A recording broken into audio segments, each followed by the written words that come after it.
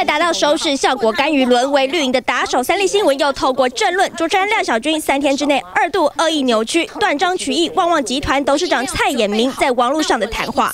嗯，其实我对台湾，呃，政治也真失望啦，呃，这侪党，尤其即嘛，你讲，民这民众党也好，甚至你亲民党也好，啊啊啊新党也好。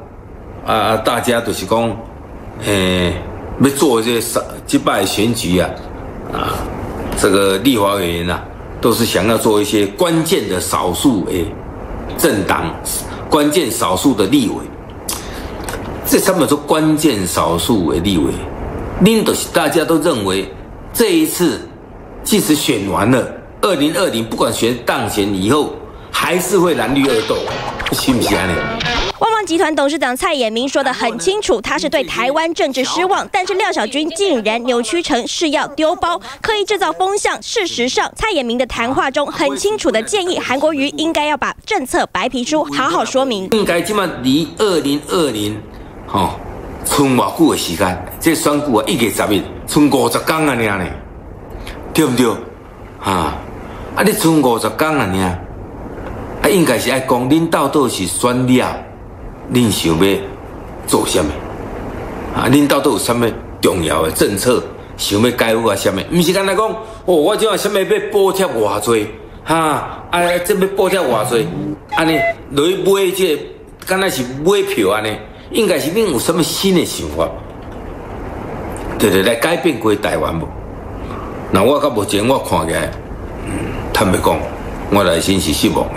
明对台湾政治失望，希望韩国瑜以后不要让人民失望，却被三立新闻政论节目掐头去尾下标。到目前，咱一定爱支持韩国瑜，对不对？因为你哦，你民进党有时你个两岸在讲啊，干那一点么回头的机会都无。啊，你有大陆，你为着要操作选举，操作两两岸的对立，安尼对咱中华民国两千三百万人，这人。咁唔公平哟，啊！咁多一直都在生活咧恐惧，哈！啊，逐工食食好，日子过食好，唔给，啊！啊，都系好安尼来大家来烦恼。